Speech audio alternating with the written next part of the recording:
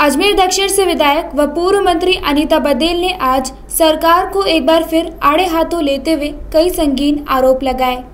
उन्होंने कहा कि केंद्र सरकार द्वारा आत्मनिर्भर भारत के द्वारा दिए जाने वाले गेहूँ की कालाबाजारी करने के लिए सरकार, अजमेर व भारतीय जनता पार्टी विधानसभा क्षेत्रों के साथ भेदभाव कर रही है। उन्होंने आरोप लगाया कि सरकार ने वाहवाही लूटने के लिए 12 जून को गेहूँ मिलने के लिए सभी अजमेर की अट्ठावन हज़ार पात्र धारकों को मैसेज किया। लेकिन 13 जून तक भी किसी को राशन नहीं मिला।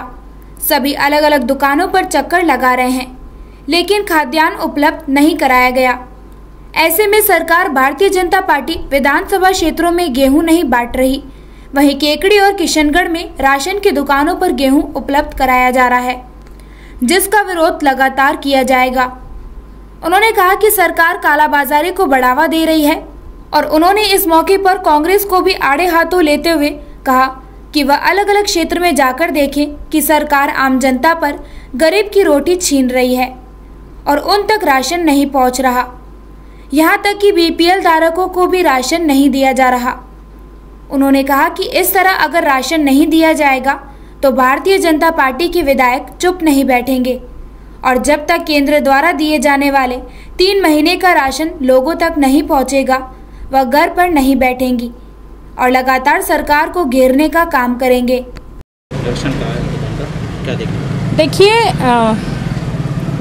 आत्मनिर्भर भारत योजना के तहत माननीय प्रधानमंत्री जी ने तीन महीने तक का गेहूँ ऐसे सभी पात्र परिवारों के लिए दिया है। राजस्थान सरकार को लॉकडाउन की अवधि के कारण से जिनके घरों में परेशानी हुई है। सबको ई मित्र पर रजिस्ट्रेशन कराना था। अजमेर के ऐसे लगभग अट्ठावन हज़ार लोगों ने ई मित्र पर जाकर रजिस्ट्रेशन कराया है।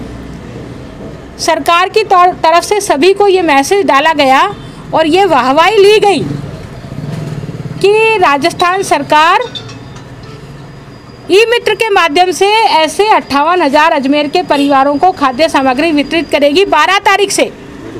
आज 12 तारीख की बजाय 13 तारीख हो गई है। मैं इस राशन की दुकान पर खड़ी हूँ। महेंद्र माथुर जी की राशन की दुकान है और मैंने इनकी दुकान का भी निरीक्षण किया है, इनके गोडाउन का भी निरीक्षण किया है। इनको अभी तक खाद्यान्न पहुँचा ही नहीं है। डीएसओ की तरफ़ से अलॉटमेंट ही नहीं हुआ है।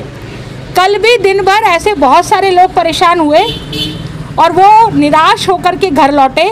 आज भी मेरे पास देखिए, ये दो तो राशन कार्ड है, बाकी पीछे जो लोग खड़े हैं वो राशन कार्ड वो वो लोग भी राशन लेके आए हैं।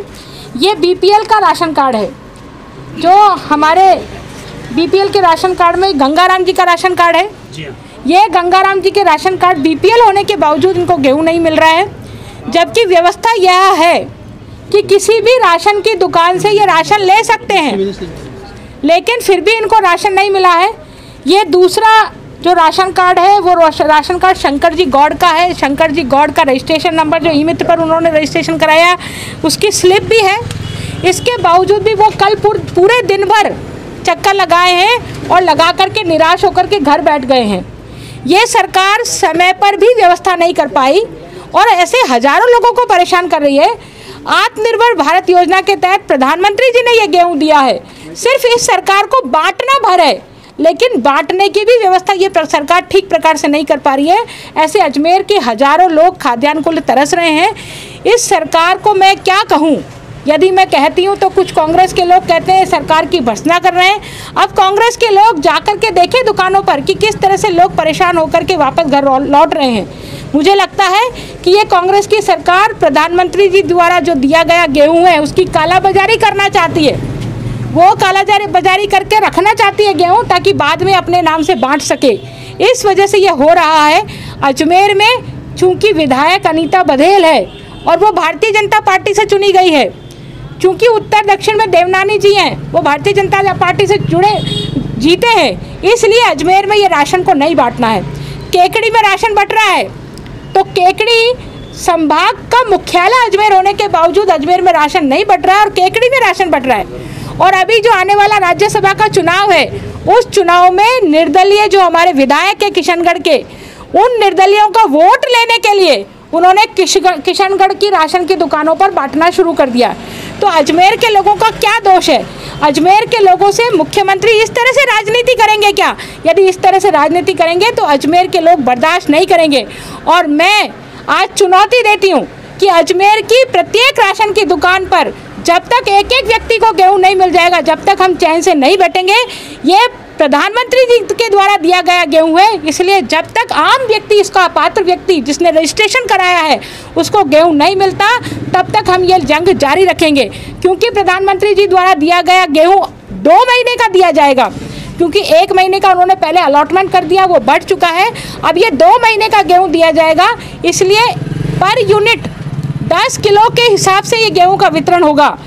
कई राशन के दुकान के भाइयों को भी मैं निवेदन करना चाहती हूँ कि इस लॉकडाउन की अवधि में वो भी जनता का साथ दें और जो गेहूँ आया है वो पूरा का पूरा उस आम व्यक्ति को दें ताकि उसकी घर गृहस्थी चल सके।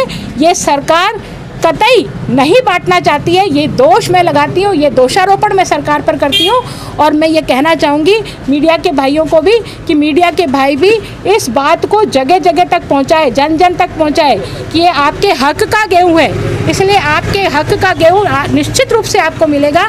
इतना मैं निवेदन करके अपनी बात को समाप्त करती हूँ और आपसे पुनः पुनः आग्रह करती हूँ कि इस बात को जन जन तक पहुँचाने का दायित्व आप, आपका है।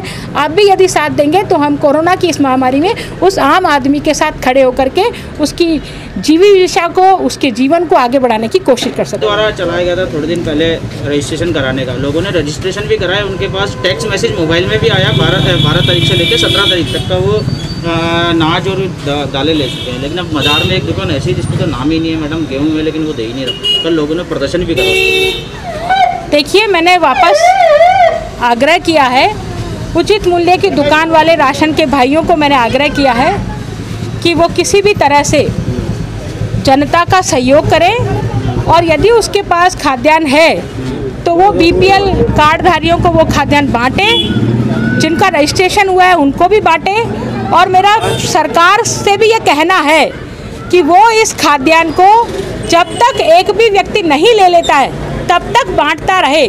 सिर्फ़ तारीख फिक्स नहीं करे कि हम 12 तारीख से 15 तारीख तक ही बांटेंगे या हम 12 तारीख से 17 तारीख तक ही बांटेंगे, क्योंकि बहुत लोग जो निराश होकर के लौट चुके हैं, उनको वापस लाने की ज़िम्मेदारी सरकार की है। उनको वापस गेहूँ बांटने की ज़िम्मेदारी सरकार की है, इसलिए सरकार को ये करना चाहिए।